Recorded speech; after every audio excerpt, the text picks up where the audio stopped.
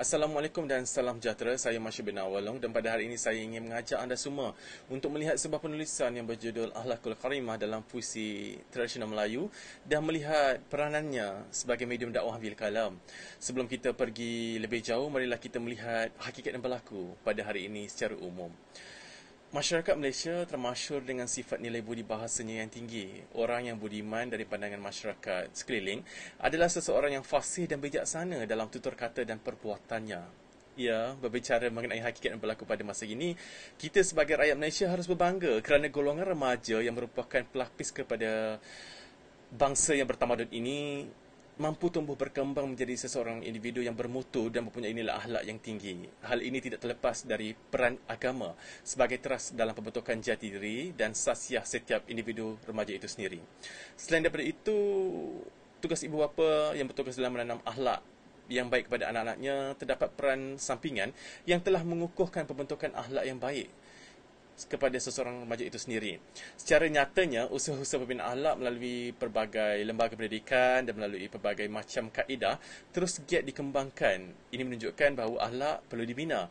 Dari pembinaan tersebut akan terbentuklah peribadi-peribadi Muslim yang berahlak mulia taat kepada Allah SWT, hormat kepada ibu bapa dan seterusnya menghormati makhluk ciptaan Allah. Dan pada hari ini saya ingin mengajak anda semua bersama-sama melihat puisi-puisi tradisional Melayu dalam konsep yang berbeza. Dan sebelum kita pergi terlalu jauh, marilah kita melihat pendefinisian makna bagi setiap komponen penelitian kita pada hari ini. Uh, baiklah, akhlak menurut Anis Mata di 6 adalah nilai dan pemikiran yang telah menjadi sikap mental yang mengakar dalam jiwa, kemudian tampak dalam bentuk tindakan dan perilaku yang bersifat tetap, natural atau alamiah tanpa dibuat-buat, serta refleks. Manakala alakul karimah boleh bermaksud sifat-sifat terpuji atau ketinggian budi pekerti. Dakwah bil kalam pula bermaksud merupakan penyampaian dalam dakwah menggunakan media tulisan di antaranya buku, majalah, surat khabar, risalah, buletin dan lainnya. Dalam memanfaatkan media ini, hendaklah ia ditampilkan dalam bahasa yang lancar, mudah difahami dan menarik minat publik, baik kalangan awam maupun terpelajar.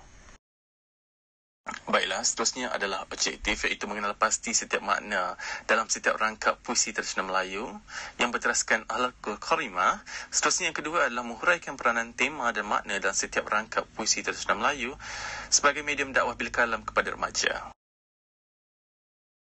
Metod yang digunakan dalam penyelidikan ini adalah analisis tag atau content analysis yang bersifat kualitatif.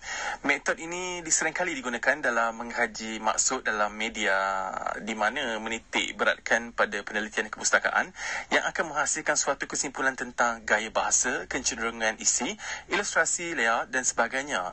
Metod analisis digunakan untuk telah ini diambil dari sebuah buku teks antologi Ku Ingin Berterima Kasih iaitu terdiri daripada dua buah puisi tradisional yang bertajuk pantun dua kerat, nasihat dan syair pom buluh. Seterusnya adalah langkah-langkah penelitian. Yang pertama adalah pengumpulan data. Penelitian ini terbagi kepada beberapa tahap iaitu observasi, membaca secara rinci dan mengamati setiap rangkap puisi tradisional yang terdapat dalam buku antologi Ku Ingin Berterima Kasih, dokumentasi mengumpulkan data seperti buku-buku jurnal yang memperihalkan tentang puisi tradisional ahlakul qarimah dan dakwah bil kalam. Seterusnya pengolahan data, pengumpulan data dalam penelitian ini melalui beberapa tahap. Data dikelompokkan berdasarkan pesan ahlak yang terbagi kepada tiga komponen iaitu ahlak kepada Allah, ahlak kepada manusia dan ahlak kepada lingkungan. Data dideskripsikan dan disesuaikan dan berteraskan dengan Al-Quran dan As-Sunnah. Perbincangan dalam penelitian ini dibatas kepada puisi-puisi tradisional Melayu yang terdapat dalam buku antologi Peduli Berterima Kasih iaitu puisi pertama yang dihuraikan adalah Pantun Dua Kerat Nasihat. Rangkap pertama, berapa jauh wujud dengan sifat, sejauh lutut dengan pelipat. Yang bermaksud perbuatan dan tingkah laku seseorang dapat menggambarkan diri dan sikap, pola pemikiran dan membuat keputusan. Seterusnya rangkap kedua, sarang semut dalam gelap, orang selimut selalu lelap. Orang yang tidak membuat sebarang kerja akan selalu ketinggalan. Seterusnya rangkap ketiga, hitam-hitam pucuk kawa sungguh hitam dipandang lawa. iaitu bermaksud sebarang kekurangan dalam diri tidak akan menjadi masalah sekiranya kita bijak menutupinya dengan kebolehan dan keistimewaan kita yang lain. Seterusnya rangka keempat, emas, perak, tembaga, suasa, malas bergerak, tidak merasa. Individu yang malas berusaha tidak akan berpeluang untuk berjaya. Mereka akan kekal di takut lama. Seterusnya rangka kelima, buah sintang, buah senikul, satu memegang, satu memikul kecakapan dan ketangkasan seseorang dalam melakukan pelbagai kerja dan tugas. Baiklah, setelah memaknai pantun nasihat dua kerat di atas, terdapat lima sifat ala karimah yang jelas terdapat di dalam setiap rangkap tersebut. Iaitu yang pertama, sifat baik hati, gigi berusaha, berfikiran positif, kerajinan dan saling bekerjasama. Berikut ada keterangannya. Seterusnya adalah syair Puan Buluh. Rangkap pertama, menara tinggi banyak bertingkat di sana tiada bilik bersekat, tiada bertangga, naik melekat, mata-mata menjaga segenap pangkat. Yang bermaksud rumpun buluh menggambarkan masyarakat-masyarakat dinasihatkannya supaya hidup secara berfakat dan saling menghormati antara satu sama lain. Rangkap kedua, yang ada sedia panji-panji bendera hingga sampai ke puncak menara banyak ada ia bersaudara yang ada pula bersama gara. Yang bermaksud masyarakat berbilang kaum perlu hidup saling bersemangat persaudaraan yang kukuh di bawah satu pimpinan. Seterusnya rangka ketiga selalu dipandang dilihat adanya tinggi rendah dijerat pangkatnya, besar kecil ikat binanya, terlalu kuat pula asasnya yang membawa maksud masyarakat perlu hidup bersatu padu tanpa mengira kaum pangkat, kedudukan atau status barulah boleh hidup dengan harmoni.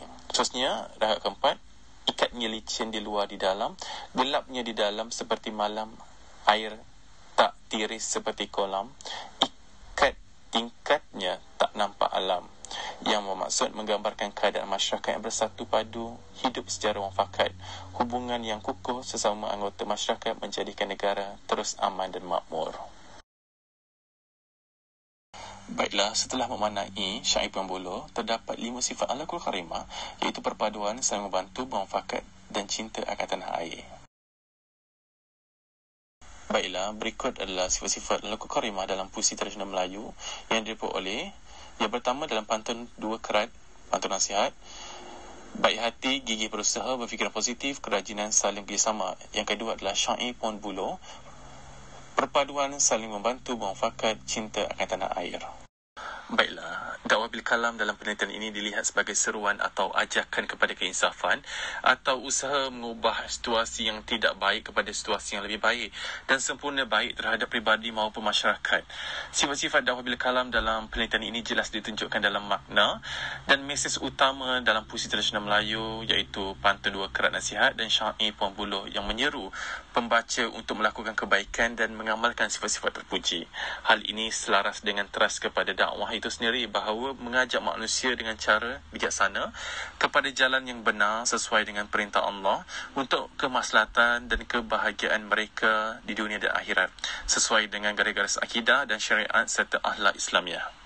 Baiklah, Al-Quran merupakan menjadi asas dan panduan kepada ajaran Islam yang merangkumi aspek akidah, syarat dan akhlak.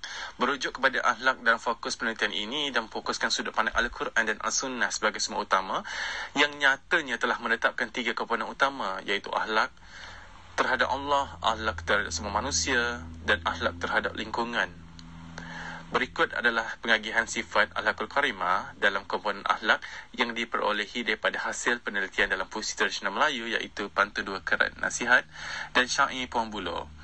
Akhlak terhadap Allah, gigih berusaha, berfikiran positif, kerajinan. Akhlak terhadap semua manusia, perpaduan, saling bersama, buang fakat. Dan akhlak terhadap lingkungan, baik hati, saling membantu, cinta akan tanah air. Sebagai kesimpulan, jelaslah di sini bahawa sifat-sifat laku karimah memang terdapat dalam kedua-dua buah puisi tradisional ini. Dan sememangnya sifat-sifat laku karimah adalah amat penting kerana perkara ini dapat memberi kemaslahatan dan kesejahteraan sejagat dalam diri individu, keluarga, masyarakat dan seterusnya negara kita tercinta. Penyelidikan ini juga telah membuktikan bahawa sifat-sifat laku karimah dalam puisi-puisi tradisional Melayu mampu dijadikan sebagai medium dakwah bil kalam kepada membaca khususnya golongan remaja. Hal ini akan menjamin golongan remaja di Malaysia akan lebih mementingkan nilai budi bahasa dalam diri mereka. Sekian, terima kasih.